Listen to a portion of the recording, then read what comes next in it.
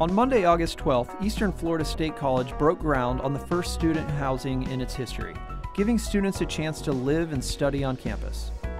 College and community leaders celebrated the event during a ceremony on the Melbourne campus where the 96 bed Residence Hall will rise.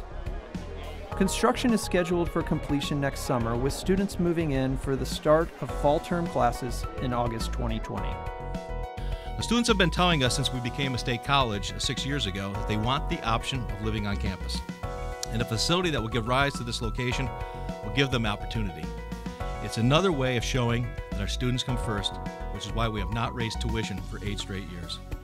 Richey called the housing a perfect fit for the Melbourne campus because students can participate in a wide range of activities there, including clubs and sporting events.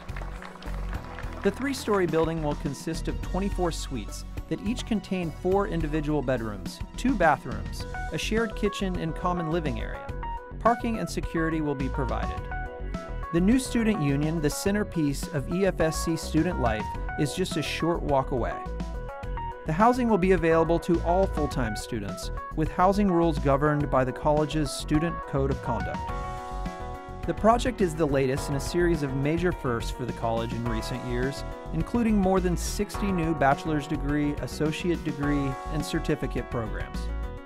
The housing is also the next step in a Melbourne campus expansion plan that was unveiled in 2014 and that has seen significant progress, including a new public safety institute, new health sciences institute, and new student union, with more buildings planned.